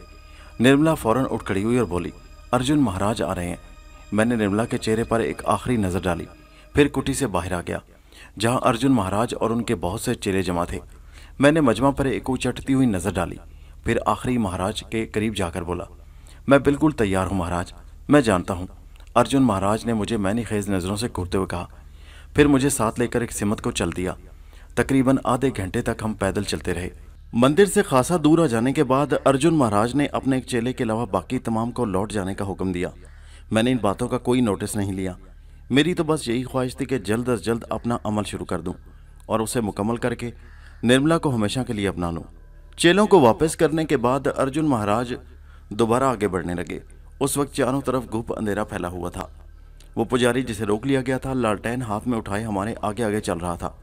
हवा की साए साए की आवाज़ और मंदिर से उभरने वाली घंटियों की आवाज़ ने माहौल को अजीब पुरस्कार बना दिया था। कभी कभी दूर किसी भेड़िए की मकरू आवाज़ हवा के दोष पर दूर तक लहराती चली जाती थी। बहुत देर तक हम यूँ ही आगे बढ़ते रहे। फिर एक जगह पहुंचकर अर्जुन महाराज रुक गया और मुझे मुखातिब करके बोला, हम अब खंडरात में दाखिल होने वाले हैं। क्या तुम्हें डर तो नहीं लग रहा? डरना मर्दों की शान के खिलाफ है। मैंने तेज़ी से जवाब दिया, इन खंडरात से करीबी शमशान है, जहाँ मुर्दे जलाए जाते हैं। उनकी आत्माएँ वीरान खंडरात में भटकती रहती हैं। परंतु मुझे विश्वास है कि तुम उनसे डरोगे नहीं। मैं समझ रहा था कि अर्जुन महाराज मुझे ये बातें क्यों बता रहा था। गालिबा वो मुझे इन खंडरात के पुरस्कार से वाकफ करा के खौफजदा करना चाहता था, लेकिन मैंने ज़िंदगी में कभी दहशत और खौफ को अपने करीब भी नहीं भटकने दिया था। चुनाचे कुछ देर तक तो मैं खामोशी से उसकी बातों को सुनता रहा, फिर सपाट लहजे में कहा, अर्जुन महाराज, अगर इन खंडरात में वाकई भटकती हुई रूहें घूमती फिरती हैं तो ये बात मेरे लिए खुशी का बायस होगी। जाप करते वक्त मुझे तन्हाई का एहसास नहीं होगा। मेरा जवाब सुनकर अर्जुन महाराज ने खामोशी इख्तियार कर ली और दोबारा आगे बढ़ना शुरू कर दिया। अब हम वाकई खंडरात के इलाके में दाखिल हो चुके थे, जहाँ की फ़िज़ा सख्त ताफुन आमेज़ थी। तारीकी की वजह से मैं उस ताफुन की वजह तो ना जान सका, लेकिन इतना ज़रूर समझ गया था कि पूरे अयोध्या की गलाजत उन्हीं खंडरात में फेंकी जाती है। बदबू के मारे मेरा दिमाग फटा जा रहा था, लेकिन मैं दिल पर जबर किए आगे बढ़ता रहा। उसी दौरान मुझे मोहन लाल की कही एक बात याद आ गई। अर्जुन महाराज, मैंने बड़े पुजारी को मुखातिब किया अयोध्या की रवानगी के वक्त मोहन लाल ने कहा था कि मुझे बड़े मंदिर में बैठकर गणेश देवता और पार्वती देवी के लिए जाप करना होगा। मुझे मालूम है, लेकिन अब मोहन लाल जी महाराज की इच्छा है कि तुम खंडरात में बैठकर जाप करो। अर्जुन महाराज ने बड़ी सर्द मोहरी से जवाब दिया, यहाँ तुम्हें गोबर गणेश की पूजा भी करनी है। एक लम्हे के लिए मेरे दिल में एक ख्याल बड़ी तेज़ी से उभरा कि कहीं अर्जुन मेरे साथ कोई फरेब तो नहीं कर रहा। लेकिन फिर मैंने ये बात अपने दिल से निकाल दी। हालात के पेश नज़र मैंने यही मुनासिब समझा कि खुद जहनी खलफशार से आज़ाद रखा जाए और जैसा मौका पेश आए, उसी मुनासबत से अमल किया जाए। यूँ भी जब मैं ओखली में सर दे चुका था तो फिर मौसली से डरना बेसूद था। कुछ दूर चलने के बाद अर्जुन महाराज एक जगह रुक गया और मुझसे मुखातिब हुआ। यही वो स्थान है, जहाँ बैठकर तुमको जाप करना होगा। मैंने इस बात में सर हिला दिया। अर्जुन महाराज बहुत देर तक मुझे जाप करने के तरीके बताता रहा। और उन खतरात से आगाह करता रहा जो जाप के दौरान मुझे पेश आ सकते थे। मैं चुपचाप खड़ा पूरी तवज्जो से एक एक बात को जहन नशीन करता रहा और फिर मुझे वो मंत्र बताया गया, जिसका जाप मुझे चालीस लाख बार करना था। मुझे उस तवील और अजनबी ज़ुबान के मंत्र को याद करने में बड़ी दुशारी पेश आई, लेकिन मैंने उसे याद कर ही लिया। तो अर्जुन महाराज ने कहा, इस मंत्र के जाप में आमतौर पर छः माह पूरे हो जाते हैं, परंतु तुम अगर पूरी लगन से काम लो तो कम समय में भी अपनी परीक्षा में सफल हो सकते हो। मुझे यकीन है, मैं बहुत कम अरसे में कामयाब हो जाऊँगा। मैंने पूरे एतमाद से जवाब दिया, जब तुम सफल ना हो जाओ, तुम्हें व्रत रखना होगा। अर्जुन महाराज ने कहा व्रत के दरमियान तुम किसी किस्म के अनाज को हाथ नहीं लगा सकते। तुम्हें सिर्फ़ फल और गौ माता के दूध से गुजारा करना होगा। मुझे मालूम नहीं, एक बार फिर कान खोलकर सुन लो कि जाप पूरा करने से पहले अगर तुमने बाहर निकलने की कोशिश की तो तुम्हारी सारी तपस्या नष्ट हो जाएगी। और देवता तुम्हें शराब देंगे। अर्जुन महाराज बड़े रूखे लहजे में बोला, बैरों और गंदी आत्माओं से भी तुम इसी सूरत में बच सकते हो, कि मंडप से बाहर न निकलो और उन पर कोई ध्यान न दो। जाप पूरा होने के बाद मुझे क्या करना होगा? मैंने अर्जुन की बातों को जहन नशीन करने के बाद पूछा, तुम महान शक्ति के मालिक बन जाओगे। तुम्हें गणेश देवता और पार्वती देवी के हुक्म पर चलना होगा। और हाँ जाप पूरा कर लेने के बाद तुम्हें निर्मला पुजारन के शरीर पर पूरा पूरा अधिकार हो जाएगा। मोहनलाल ने मुझे वचन दिया था कि वो मुझे अपनी चौथाई शक्ति दान कर देगा। मैंने निर्मला के तस्करे को टालते हुए कहा, अगर महाराज ने तुम्हें वचन दिया था तो वो उसे ज़रूर पूरा करेंगे। अर्जुन महाराज बड़ी संजीदगी से बोला, महान पुजारी कभी अपने दिए हुए वचन से पीछे नहीं हटा करते। मैं काफ़ी देर तक अर्जुन महाराज से गुफ्तु करता रहा। फिर जब वो अपने चेले के साथ मुझे खंडर में तनहा छोड़कर चला गया तो मैंने जल्दी से उसके बताए मंत्र को चालीस बार पढ़ा। और नाहमवार ज़मीन पर एक बड़ा दायरा बनाकर उसके बीचों बीच बैठकर जाप करने लगा। जाप एक तवील और थका देने वाला पहला मरला था, जो अजियत में बर्दाश्त की उसका इजहार नामुमकिन है। वीरान खंडरों में मुतफन जगह पर बैठकर शब व रोज़ मंत्र पढ़ता रहा। मैं अब ये सब कुछ सोचता हूँ तो मुझ पर लर्जा तारी हो जाता है। ये तो छः माह की बात थी। मेरा ख्याल है कि आदमी को उस पुरस्रार जगह पर बैठकर चंद लम्हे गुजारना भी मुश्किल हो जाते। मुझे इस बात का इकरार करने में मतलब कोई आर नहीं शुरू शुरू में मेरा दिल उचाट हो जाता था और संजीदगी से फ़रार के मतलब गौर करने लगता था। लेकिन पंद्रह बीस दिन गुजर जाने के बाद मेरे अंदर जो नुमाया तब्दीली आई वो अजीब गरीब थी। मैं मुकम्मल तौर पर ख़ुद को हिंदू धर्म का पैरों समझने लगा और पूरे जोशो खरोश के साथ जाप में मगन हो गया। मेरी लगन का अंदाज़ा इस बात से भी ज़ाहिर होता है कि मुझे वक्त का होश भी न रहा। सच पूछिए तो मैं नीम बेहोशी की हालत में था। मैं हमा वक्त जाप में मसरूफ़ रहता कई कई रोज़ तक कुछ खाए पिए बगैर गुजार देता। अर्जुन महाराज के कहने के मुताबिक, मैंने मंडप से बाहर जाने की कोशिश नहीं की। मुझे ये भी नहीं मालूम कि फल और दूध कौन लाया करता था। लेकिन जब भी मुझे उसकी ज़रूरत महसूस करता, चीज़ें मेरे सामने होती। रफ्ता रफ्ता मेरी हालत उस मजजूब जैसी हो गई, जिसे दुनिया का कोई होश ही नहीं रहता। ना ही दिन रात की तमीज़ बाकी रहती है। मैं पूरी तरह अपने अमल में डूब कर रह गया। मुझे ये भी अंदाज़ा नहीं था कि जाप करते वक्त कितने महीने बीत चुके हैं, या मैं चालीस लाख बार में से कितनी बार इस मंत्र को पढ़ चुका हूँ। मुझे इसकी ज़रूरत भी ना थी इसलिए कि अर्जुन महाराज ने मुझे बत, यही बताया था कि जाप पूरा होते ही मुझे खुद ब खुद किसी न किसी तरह अंदाज़ा हो जाएगा। चुनाचे मैं बिल्कुल दीवानों की तरह अपने अमल में मसरूफ़ रहा। भूख प्यास का एहसास तकरीबन फना होकर रह गया था। मुझे ठीक तौर पर याद नहीं कि मेरे कामयाबी में कितने दिन रह गए थे लेकिन इतना ज़रूर याद था कि रात की तारीकी में अब मुझे गंदी बलाओं ने किस्म किस्म के रूप धार कर डराना शुरू कर दिया था। कभी मुझे यूँ लगता मैं हवा में बुलंद होता चला जा रहा हूँ और फिर काफ़ी बुलंदी से ज़मीन की तरफ़ फेंक दिया गया हूँ। कभी ऐसा लगता जैसे मेरी नज़रों के सामने अलाव रोशन है, जिस पर एक बड़े कड़ाव में तेल उबल रहा है और ड्रावनी सूरत वाली बलाएँ इस इरादे से मेरी तरफ़ लपक रही हैं कि मुझे उठाकर उस कड़ाव में डाल दें। कभी कभी खूनखार दरिंदों की तरह आवाज़ें मेरे कानों में टकराने लगती, लेकिन मुझे कभी उन चीज़ों से कोई खौफ महसूस नहीं हुआ था। बस एक लम्हे के लिए ये ड्रावने मंजर मेरे नज़रों के सामने उभरते। फिर जैसे ही मैं बुलंद आवाज़ में मंत्र पढ़ना शुरू करता, सब कुछ गायब हो जाता। एक दो बार ऐसा भी हुआ, जब मैंने महसूस किया कि जैसे निर्मला परियों के लिबास में खड़ी मुझे इशारों से अपनी तरफ़ बुला रही है, लेकिन मैंने उस पर भी कोई ध्यान न दिया और अपने जाप में गरक रहा। एक ही मंत्र को शबो रोज़ दोहराते दोहराते मैं कुछ इस दर्जा उसका आदि हो गया कि अब ना तो मुझे हलक खुश्क होने का ख्याल सताता, ना ही किसी थकन और उकताहट का एहसास होता। बल्कि मंत्र के अल्फाज खुद ब खुद जारी हो जाते। अब मैं जज्बात और एहसास से मुबर्रा एक शख्स था, जिसे नहीं मालूम था कि वो कहाँ है, क्या कर रहा है।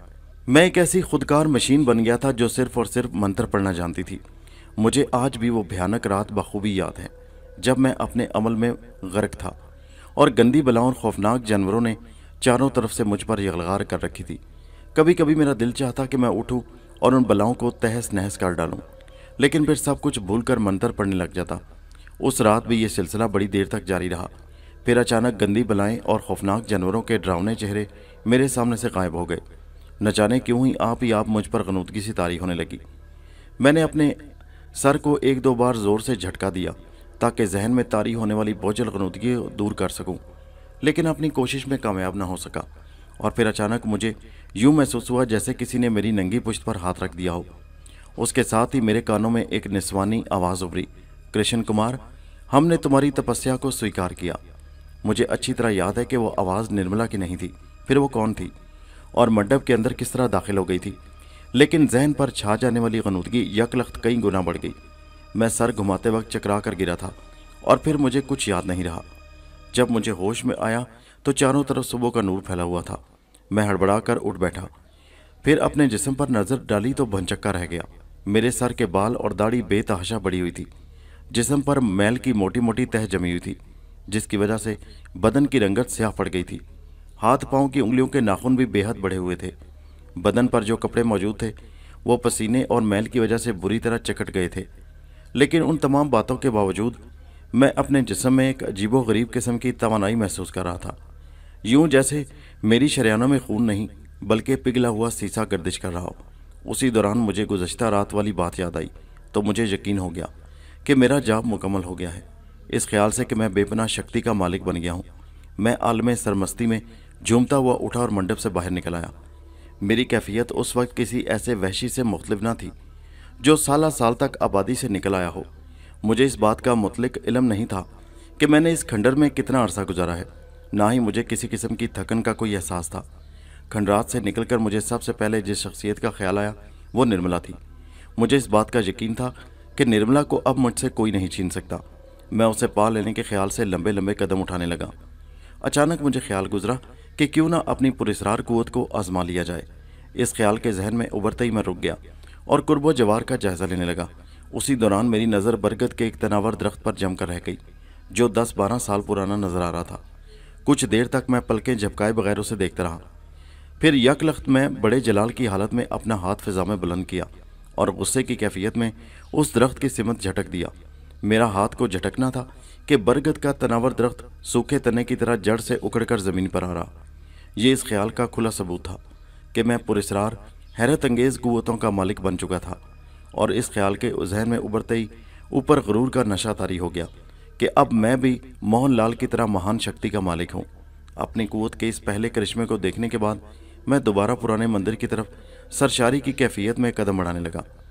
मैं सोच रहा था कि जब निर्मला को मेरी कामयाबी का इल्म होगा तो वह आलम वारफ्तगी में खुद को मेरे हवाले कर देगी और खुशी से दीवानी हो जाएगी और फिर मैं उसे हमेशा के लिए अपनी आगोश की जीनत बना लूँगा। अभी मैं इन ख्याल में डूबा आबादी के अंदर दाखिल हुआ था कि मेरी नज़र एक पुजारी पर पड़ी, जो जोगिया रंग के लिबास में मलबूस था और मेरी सिमत चला रहा था। उसने हाथ में पीतल की एक लुटिया थाम रखी थी और दूसरे हाथ में पीतल की एक थाली थी, जिसमें फल मौजूद थे। मुझे याद आ गया कि जाप के दौरान मुझे इस किस्म के बर्तनों में पेट भरने की चीज़ें मुहैया की जाती थी। इस ख्याल पर मुझे हँसी आ गई कि वो पुजारी आज भी मेरे लिए फल और दूध लेकर खंडरात की तरफ़ जा रहा था। मैं अपनी जगह रुक कर उसे देखता रहा। फिर जब वो करीब आया तो मैंने उसे पहली नज़र में पहचान लिया। ये वही पुजारी था, जिसने सबसे पहले अयोध्या पहुँचने पर मेरा और निर्मला का स्वागत किया था। मैं उसे मुस्कुराती नज़रों से घूरे जा रहा था और सोच रहा था कि देखे वो नज़दीक आने पर मुझे पहचानता है या नहीं। पुजारी अपने ख्यालों में डूबा खड़ाओं की खड़क पर करता चला आ रहा था। मेरे करीब से गुजरते वक्त जब उसने मेरे चेहरे पर नज़र डाली तो यूँ ठिठक कर रह गया, जैसे उसकी रूह फना हो गई हो। उसकी फटी फटी आँखों से हैरत और खौफ के मिले जुले तासरात यहाँ थे। कुछ देर तक वो बुत बना खड़ा मुझे घूरता रहा, फिर थर थर कांपने लगा। उसके हाथ में दबे हुए बर्तन छूट गए। दूध और फल ज़मीन पर बिखर गए। फिर दूसरे इलमे वो महाराज कहकर लपका और मेरे कदमों में आ गिरा। ये दूसरी कामयाबी थी जिसने मेरे जहन पर छाए हुए नशे को दो चंद कर दिया। चुनाचे मैंने बड़े गुरूर से उसे मुखातिब किया। उठो पुजारी, डरो नहीं। मैं वही कृष्ण कुमार हूँ, जिसके लिए तुम दूध और फल लेकर जा रहे थे। महाराज की जय हो। वो उठा और हाथ बांधकर सामने खड़ा हो गया। लेकिन उसके जिसम पर अभी तक लर्जा तारी था। अर्जुन, महाराज का क्या हाल है? मैंने ठोस आवाज़ में सवाल किया। फिर यक लख्त बुरा सा मुँह बनाकर बोला, वो हमारे स्वागत के लिए नहीं आया। महाराज, वो अर्जुन महाराज, अभी आपकी परीक्षा का समय पूरा जो नहीं हुआ था। पुजारी ने हकलाते हुए बमुश्किल अपना जुमला पूरा किया तो मुझे और गुस्सा आ गया। मैंने बड़ी नफरत से कहा, क्या अर्जुन के पास इतनी शक्ति भी नहीं कि वो मेरे बारे में कुछ जान सकता? मैं पुजारी बुरी तरह हकलाने लगा। मेरे लबो लहजे की सख्ती ने गालिबा उसके रहे से औसान भी खता कर दिए थे। जाओ मैं हाथ उठाकर सख्त आवाज़ में बोला, अर्जुन से कहो कि कृष्ण कुमार महाराज उसे बुलाते हैं। पुजारी ने हाथ जोड़े और तेज़ी से पलटकर भागता हुआ पुराने मंदिर की तरफ़ रवाना हो गया। मैं उसी जगह खड़ा रहा और सोचता रहा कि देखें अब क्या होता है। अर्जुन मेरे स्वागत को आता है या नहीं? दस मिनट बाद पुजारी दोबारा दौड़ता हुआ वापस आया और मेरे सामने खड़ा होकर कांपने लगा। मैंने उसे तनहा देखा तो लाल पीला होकर पूछा, क्यों? क्या अर्जुन मेरे स्वागत को नहीं आना चाहता? क्षमा कर दीजिए महाराज। पुजारी गिड़गिड़ाने लगा। मेरा उसमें कोई दोष नहीं।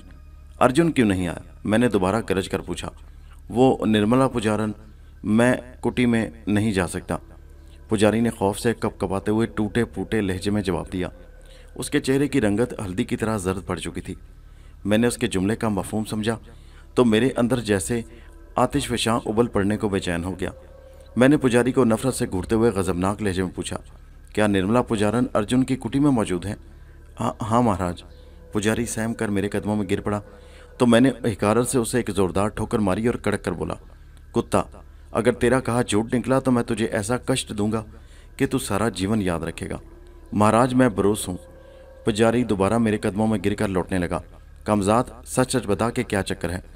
मैं उसे दूसरी ठोकर मारकर गुसीली आवाज़ में पूछा, महाराज, वो निर्मला पुजारन और अर्जुन महाराज दोनों एक साथ, बकवास मत करो।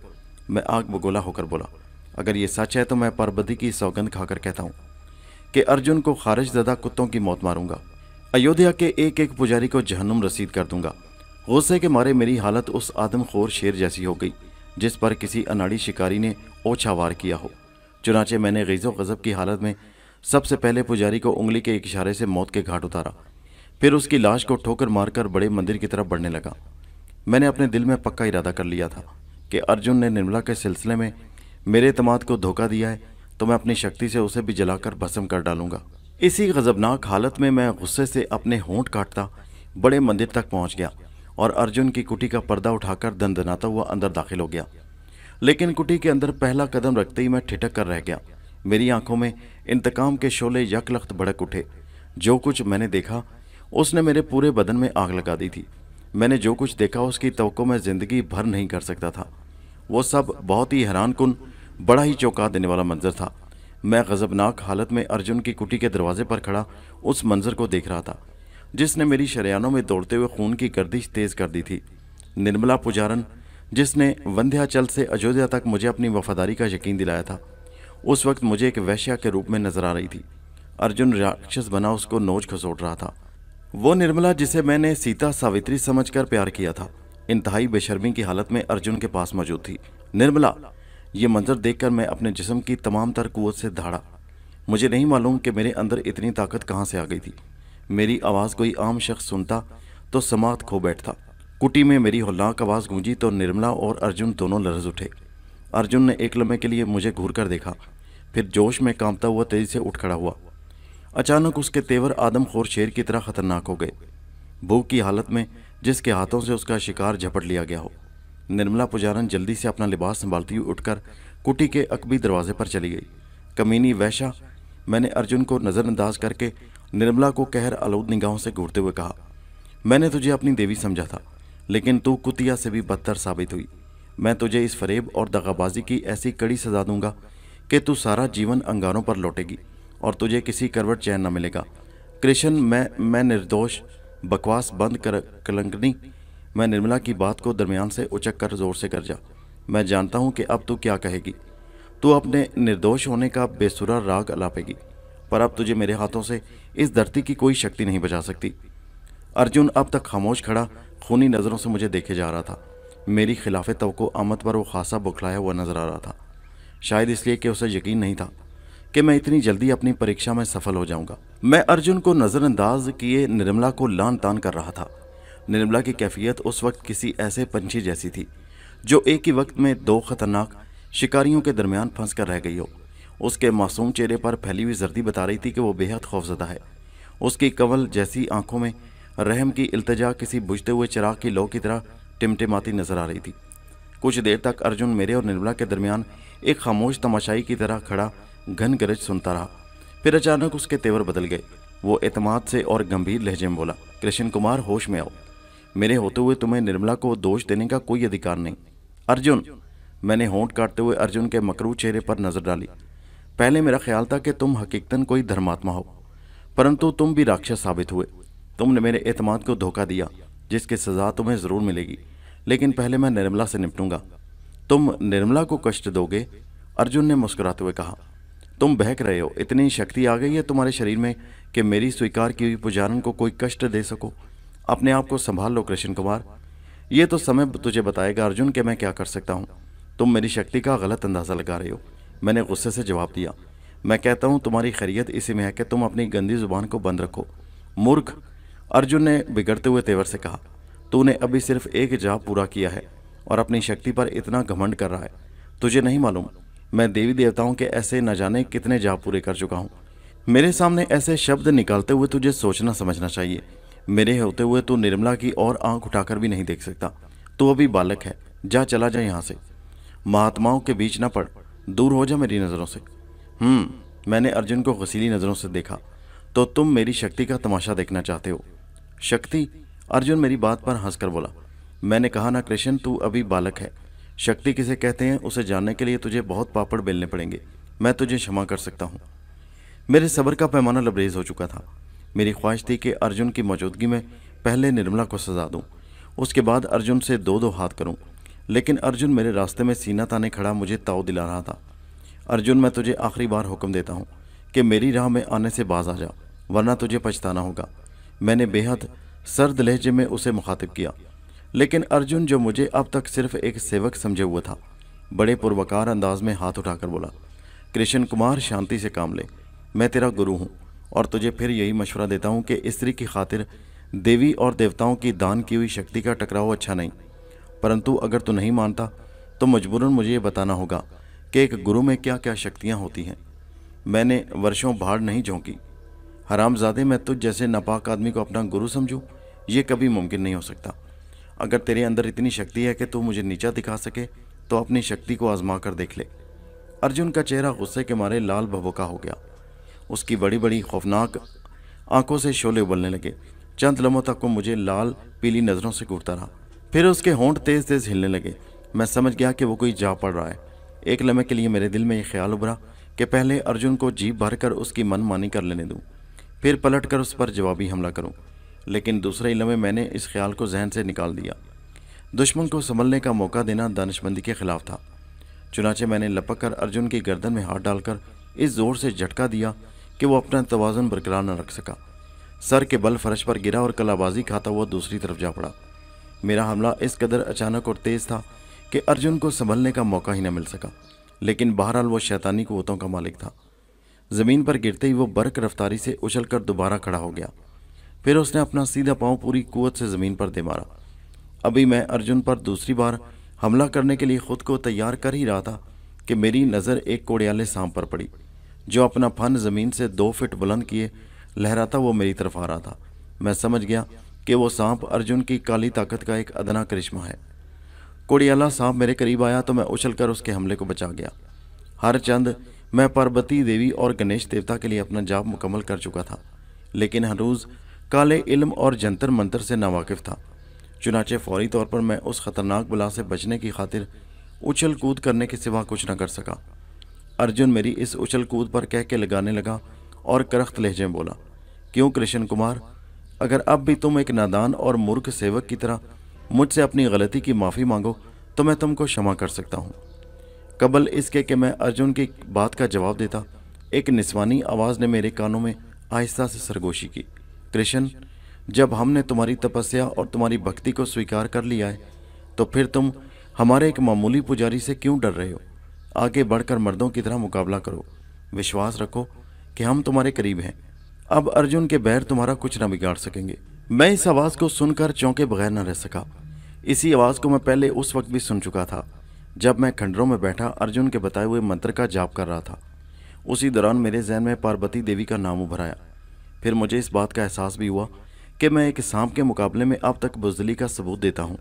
चुनाचे मैं अपनी जगह डट कर खड़ा हो गया। जहरीला सांप फन उठाए मुझ पर हमलावर होने के लिए तेज़ी से मेरे करीब आ रहा था। पलकें झपकाए बगैर मैं उस मोजी को घुड़ता रहा। करीब आकर उसने जैसे ही मेरे ऊपर फन मारा, मैंने हाथ बढ़ाकर उसे अपने गिरफ्त में जकड़ लिया और गुस्से की हालत में उसके मुँह को अपने दांतों से भंबोड़ कर एक तरफ़ उछाल दिया।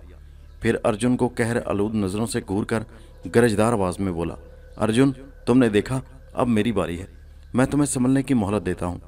इतना कहकर मैं अपना सीधा हाथ बड़े जलाली अंदाज में अर्जुन की सिमत बढ़ाया और दरमियानी उंगली को झटकने लगा। मुझे महसूस हुआ जैसे मेरी उंगली से एक शोला सा लपका और फिर जो कुछ हुआ वो मेरी ख्वाहिशात के एन मुताबिक था। शोले ने अर्जुन को चश्मे जदन में जलाकर राख कर दिया। हट्टे कट्टे पुजारी की जगह अब फर्श पर एक जला हुआ इस्तखवानी ढांचा पड़ा हुआ था और ये सब कुछ इतनी तेज़ी में हुआ कि मुझे उसकी हैरत हो रही थी। अर्जुन को मौत के घाट उतार कर मैं निर्मला की तरफ़ मुतवजह हुआ, जो खौफजदा और दहशत के मारे थर थर काँप रही थी। उसकी खौफजदा रंगत हल्दी की मानंद जर्द पड़ चुकी थी। लग रहा था जैसे वो किसी भी लम्हे तेवरा कर गिर पड़ेगी। क्यों निर्मला? अर्जुन तुझे बहुत प्यारा था। मैंने निर्मला को घूरते हुए हिकारत से कहा तो वह हकलाने लगी। कृष्ण मुझे माफ़ कर दो। कृष्ण नहीं, कृष्ण कुमार महाराज कहो, मूर्ख लड़की। मैं निर्मला को उसकी बात याद दिलाते हुए बोला, तूने ही तो मुझे एक बार बताया था कि महान और बलवान पुजारियों को शुभ नाम से पुकारा जाता है, मगर तू सब कुछ भूल चुकी है। महाराज निर्मला ने अपनी उखड़ी सांसों पर किसी कदर काबू पाते हुए कहा, अपनी दासी को क्षमा कर दो। मैं तुमसे प्रार्थना करती हूँ। प्रार्थना और वो भी रहम की? मैं नफरत से बोला, ये शब्द तुमने उस वक्त क्यों नहीं कहे, जब अर्जुन तुम्हारे कारण मुझे अपनी कुटी से निकाल रहा था? निर्मला ने कोई जवाब न दिया। सहमी सहमी निगाहों से मुझे देखती रही, दासी, तुझे याद है कि एक बार तूने क्या कहा था? अर्जुन महाराज अपनी कुटी में किसी स्त्री का दाखला पसंद नहीं करते। मैंने निर्मला के सरापे को नफरत से देखते हुए कहा क्या मैं पूछ सकता हूँ कि तू आज इस पलीत पुजारी की आगोश में क्यों मचल रही थी? कृष्ण कृष्ण महाराज कह कलंकनी तुझे नहीं मालूम, मैंने अपना जाप पूरा कर लिया है।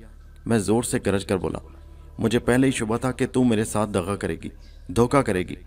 तूने एक महान शक्ति के पवित्र प्यार का अपमान किया है। अब तू अपने लिए खुद ही कोई सज़ा तजवीज़ कर ले।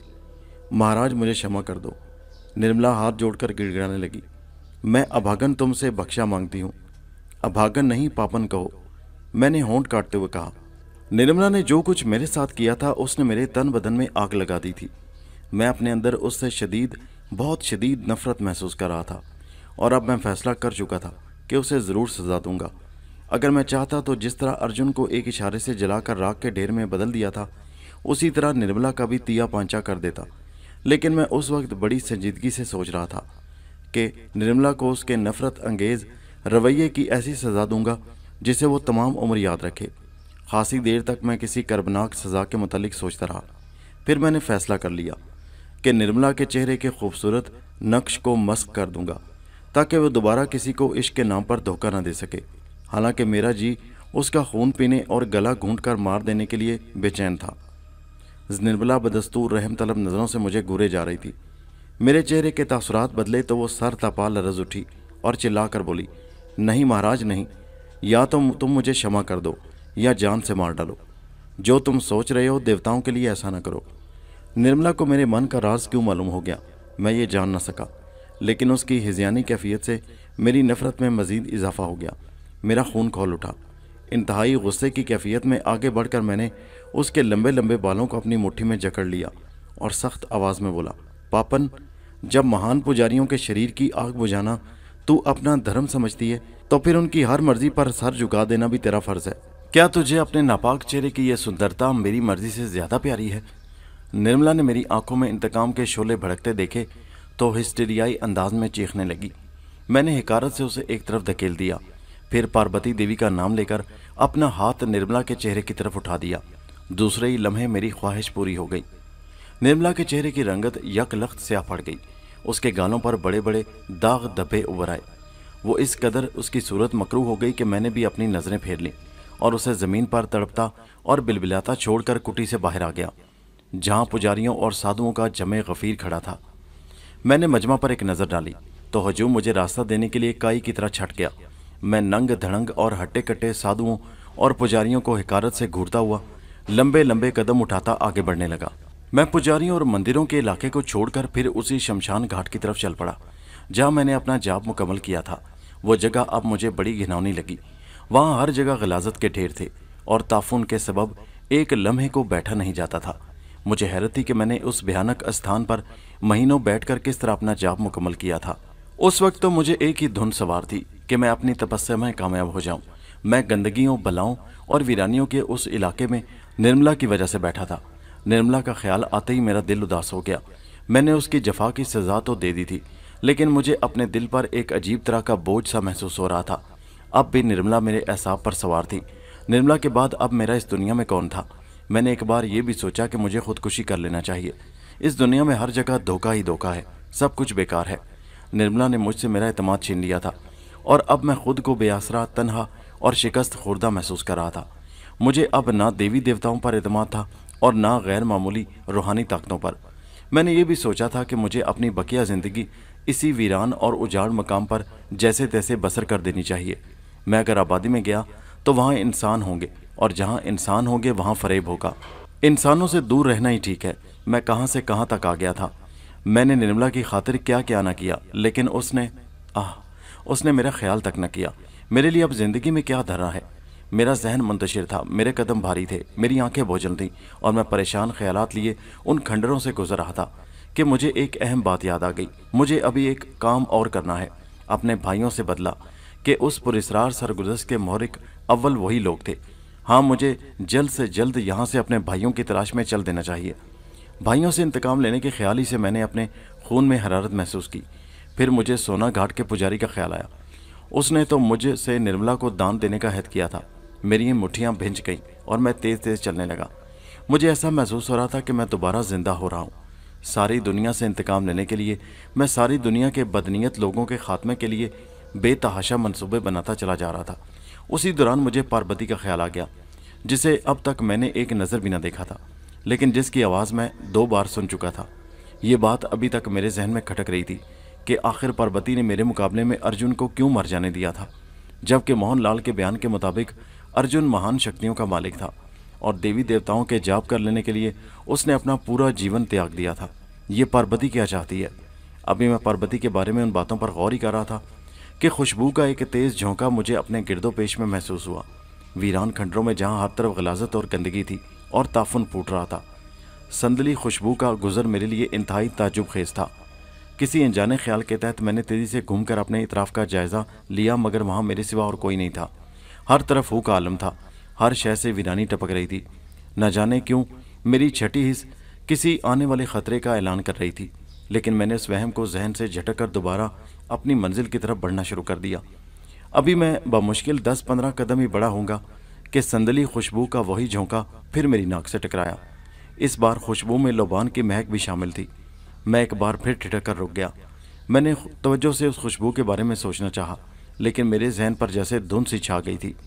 मेरा दिमाग आहिस्ता आहिस्ता बोझल होता जा रहा था। इस ख्याल से मुमकिन है कि यह कैफियत निर्मला की बेवफाई के सदमे से मेरे ऊपर तारी हो। मैंने दो एक बार फिर अपने सर को झटका मगर कोई फ़ायदा ना हुआ। मैं एक बार फिर इसी कैफियत से दो चार हो रहा था। मुझ पर पार्वती देवी के लिए जाप करने के दौरान पैदा हुई थी। मेरी आँखें बोझल होनी शुरू हो गई थी। मैंने हतल इम्कान कोशिश की कि इस कैफियत से छुटकारा हासिल करूँ, लेकिन मेरी सारी कोशिशें रायगा साबित हुईं। और फिर, मुझे बस इतना ही याद है कि मैं बेहोशी से दो चार हो गया था।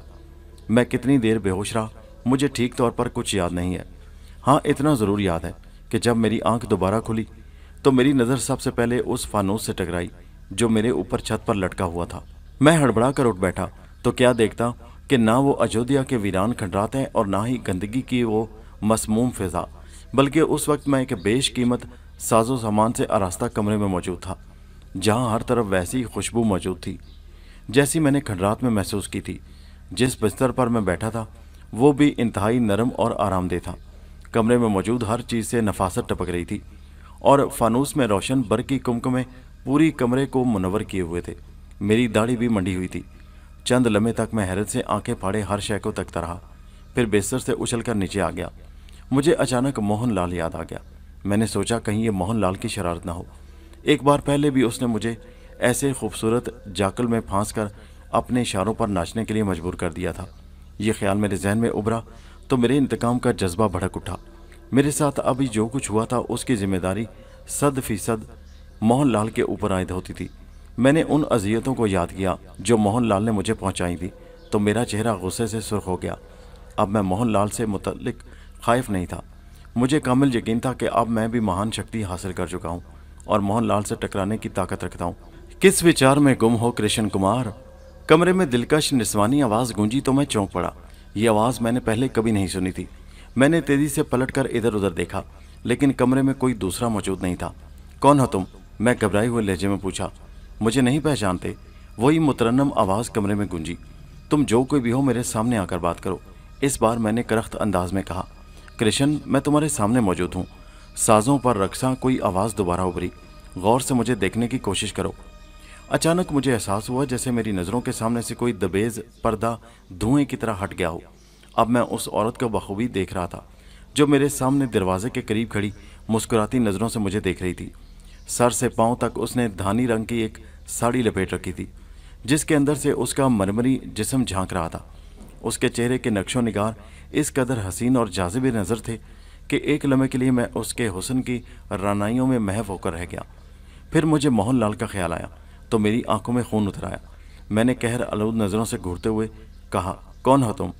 जवाब में हसीनो जमील औरत रसीले होंठों पर एक खूबसूरत सी मुस्कुराहट उभरी। आहिस्ता आहिस्ता शाहाना अंदाज से कदम उठाती, वो मसहरी पर जाकर बैठ गई। मेरे सवाल का उसने कोई जवाब नहीं दिया, लेकिन उसकी खमार आलूद नज़रें बदस्तूर मेरे चेहरे पर मरकूज थीं। मैं क्या कह रहा हूँ? मैंने झिलाकर औरत को मुखातिब किया। सीधी तरह मेरी बात का जवाब दो, वरना मैं सख्ती से पेश आना भी जानता हूँ। इस बार भी औरत के होंठों पर एक पुरवकार मुस्कुराहट उभरी। उसने मुझे चमकीली नज़रों से देखते हुए ठहरे हुए लहजे में कहा, कृष्ण कुमार, क्या तुम्हारे अंदर अभी वाकई इतनी शक्ति नहीं है कि मुझे पहचान सको? औरत की मुतरनम आवाज़ कमरे में उभरी तो मुझे यूँ लगा, जैसे बेशुमार नकरई घंटियाँ एक साथ खनक उठी हों। मुझे इतराफ़ है। मैंने इससे पहले इतनी हसीन औरत नहीं देखी थी।